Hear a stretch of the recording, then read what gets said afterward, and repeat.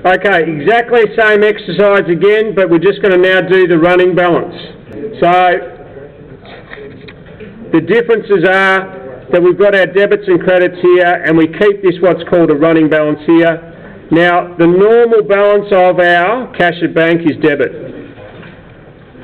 So mostly this will be a debit column. So let's run through it again. October 1st, my transaction was with share capital, so I'm, once again I'm putting my share capital information here. My post reference for share capital was account number 300 and because I was increasing my cash it's a debit balance.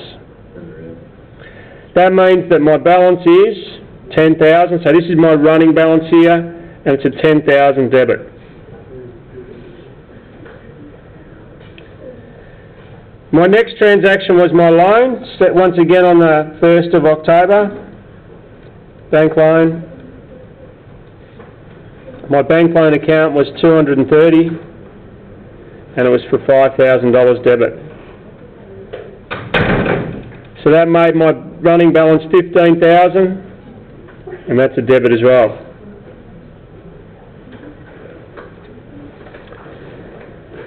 We now, our next transaction was a cash decrease, which was our office equipment.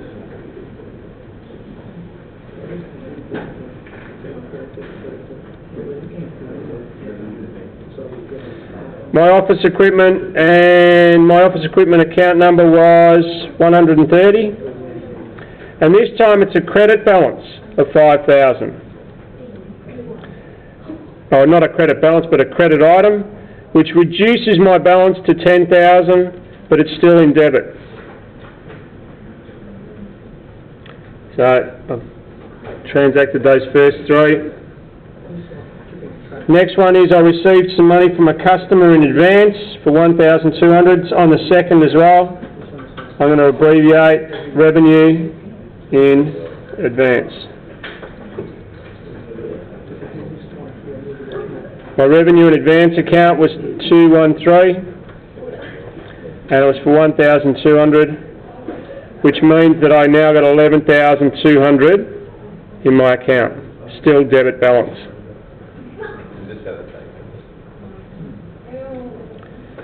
Alright, cash services or cash for revenue or received in advance services revenue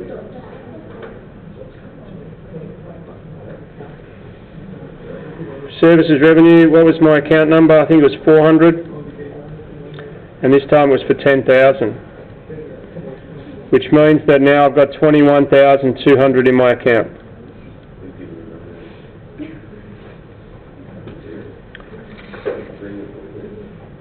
Next item was rent expense on the 3rd of October as well.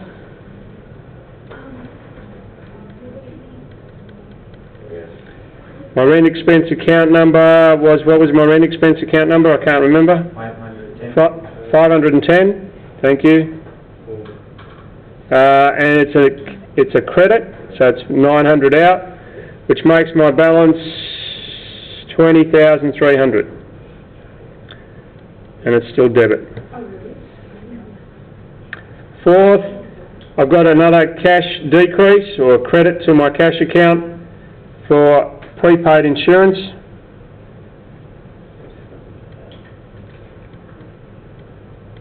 It's abbreviated. What was my insur- prepaid insurance account number?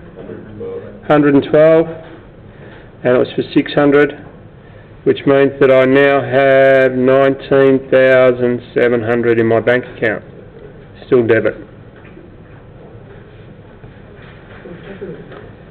I, uh, got no appetite, that's not included because there's no cash transaction in there. I've got some dividends, so on the 20th of October I paid some dividends.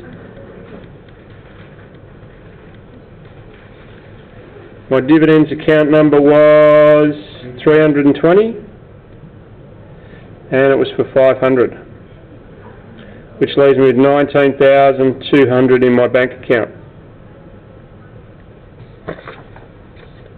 And my last transaction is I paid some salaries on the 26th.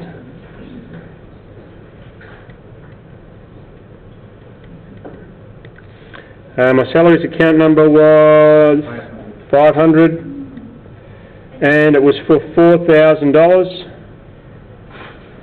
So that made my running balance fifteen thousand two hundred, Why is it debit? Because this is the balance of the account, not the transaction. So, this is my transaction. My transaction is credit, so there's a credit to my cash, but it just reduces the balance.